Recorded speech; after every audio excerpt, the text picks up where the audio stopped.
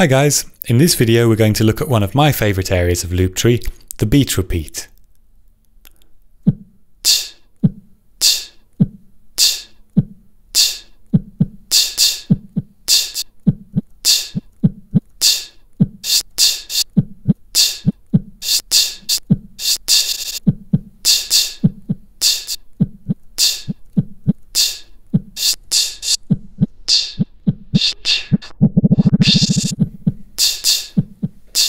Okay, so the beat repeat is this area here, and what it allows you to do is select some tracks, tap the beat repeat button and load them into the beat repeat.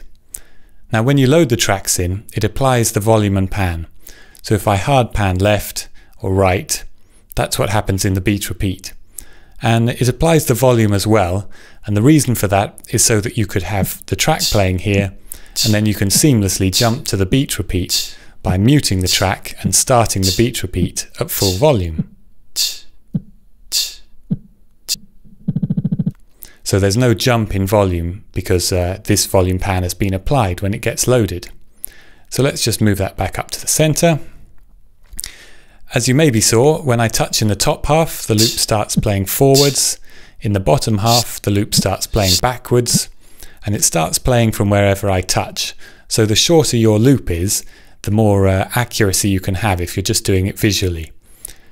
You've also got control of the volume of the loop, and up at the top here is full volume playing forwards, and then you fade through zero in the center and go down to full volume playing backwards at the bottom. And uh, once you've got the volume and the position, you can also change the loop length. And as you drag away from your starting point, it keeps halving in length.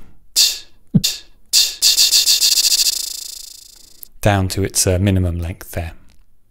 So as you saw earlier, you can record the beat repeat into a new track, and this is determined by the record source here. You can switch either the beat repeat and the microphone on or off. So uh, if you put the beat repeat off, you can record the microphone and use the beat repeat and it won't be recorded. And uh, vice versa. If you have the microphone off, you can record the beat repeat and you can use the microphone at the same time and it won't be recorded. So that gives you the ability to record. And um, one little trick there is that if you do just want to reverse a track, you can play the play the original track, and with length quantize on, um, select your original track and an empty, start your reverse loop going, and then just hit rec. So it's recorded a reversed version of my loop. And because I didn't have the microphone disabled, it's also got my voice saying ek at the start. You hear there. In addition to just recording the track, you can use it in combination with the filter here. And you've got the choice of whether the filter applies to the beat repeat, the tracks, or the microphone input. So uh, if I, at the moment it's applied to the tracks and the beat repeat, but if I just applied it to the beat repeat and say pick a high pass filter, then I can have the tracks playing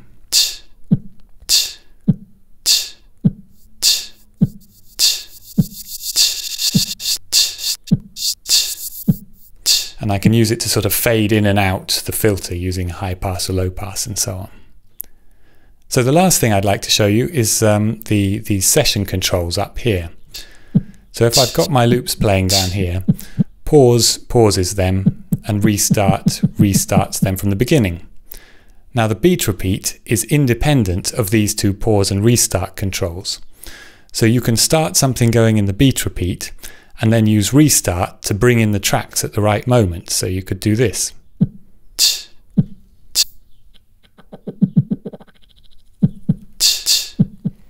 So there I used a filter as well. And then when I felt it was the right moment, I released the restart button and that started those two loops going. So that's just a few of the things you can do with the beat repeat. I hope you have fun with that and keep an eye out for our other tutorial videos. Bye for now.